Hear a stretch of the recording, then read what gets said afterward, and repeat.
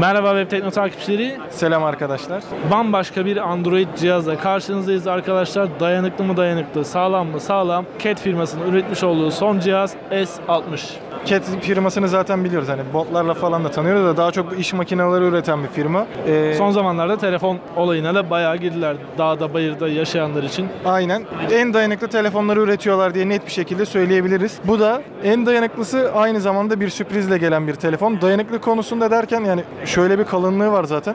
Öküz gibi de sağlam. Yani şu an büyük ihtimalle birinin kafasına fırlatsam kafası Telefona yarılacak. bir şey olmaz. Aynen telefona bir şey olmaz. Ama insanın kafası yaralı. Ya yeni nesil 3310 gibi bir şey diyebiliriz aslında bunun için. Oldukça e, güzel bir cihaz. Hemen tasarımından başlayayım ben. Görev- Tasarım aslında hani böyle aman ince olsun. Vay efendim böyle şık olsun. Masaya koyduğumda milletin aklı çıksın bir telefon değil bu. Kesinlikle değil. Bu sadece sağlamlık üzerinden giden bir telefon. Hani sağlamlık ve aynı zamanda tabii ki yeteri kadar performans sunabilmek için üretilmiş bir telefon. O yüzden de mühim olan buradaki tasarımından daha çok sağlamlığı ve birazdan anlatacağımız önemli detayı olacak bizler için. Nedir o detay? Ee, o detay ise e, şimdi şöyle arkasını yavaşça çeviriyorum.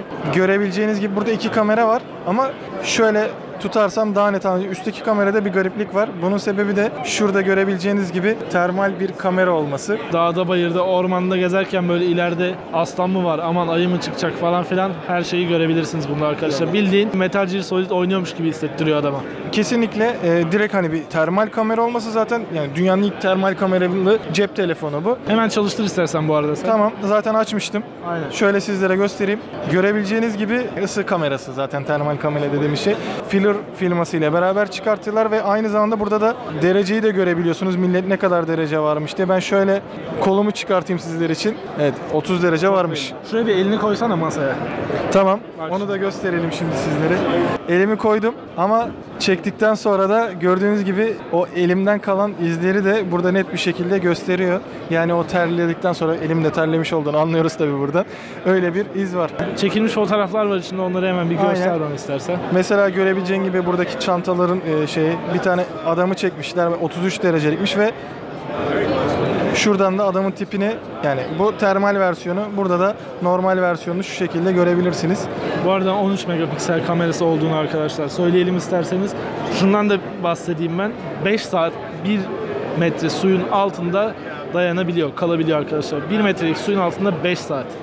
Aynen hani şimdiye kadar işte IP sertifikalarından bahsediyorduk. Yok yarım yarım saat, aynen. yarım metre suyun altı falan bu telefon çıkmış demiş ki ben 5 saat kalabiliyorum. Yani cayır cayır kalırım. Siz beni denizde unutun gidin evinize sonradan aklınıza gelsin. Gel al hiçbir şey olmaz diyor gerçekten. Evet. 4G desteği var bu arada arkadaşlar. 32 GB bir belleği olduğunu söyleyelim. Aynı zamanda 3 GB da RAM'le geliyor. Donanım olarak da çok kötü bir cihaz değil. Orta seviyenin bir tık üstünde kalıyor. Aynen e, işlemci noktasında da Snapdragon 617 var bunda. O da zaten orta seviye için gayet iyi. Hatta e, çok performanslı bir telefon bile diyebiliriz. Tabii ki Snapdragon 800 serisi kadar olmasa da 600 serisinin en güzellerinden biri bu. O bakımdan da ciddi bir altısı var. Zaten ekranın yukarıdan aşağı gitmesinden de Android 6.0 arayüze sahip olduğunu görebiliyorsunuz. Bunun dışında da ekran boyutundan bahsetmedik biz. 4.7 inçlik bir HD ekranı var. Ama aynı zamanda Gorilla Glass 4 ile korunuyor. Tabii ki bunun dışında da çok sağlam bir cihaz olduğu için de 810G'ye kadar da kuvvetleri sağlam bir şekilde tutabiliyor. Bataryasından da hızlıca bahsedelim istersen. Tamamdır. Zaten böyle bir kalınlık olunca bataryaya da fazla fazla yer bırakmışlar herhalde. 3800 miliamperlik bir bataryası var. Bu da oldukça iyi. Gerçekten önemli bir detay. Bu arada bir şey fark ettim. Gördüğün gibi şurada özel bir SOS tuşu var. Evet. Bu da işçilere yönelik bir ağır şartlar altında çalışanlar için Doğada, doğada takılanlar için. ya da e, gerektiğinde buradan SOS çağrısı da yapabileceksiniz. Ufak da olsa önemli bir detay aslında bu telefonu kullanacak olan kişiler için.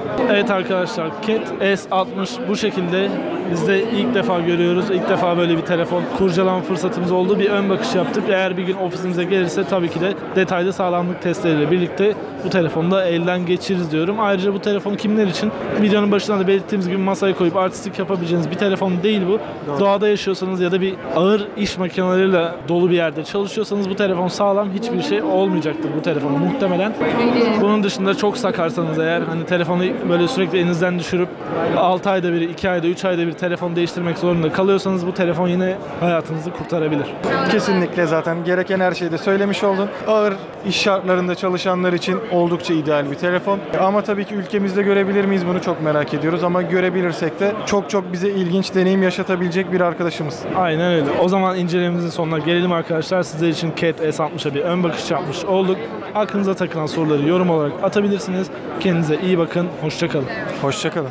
Bu video kesmediyse General Mobile 5 Plus videosuna tıklayın. Yapın bunu. Pişman olmazsınız.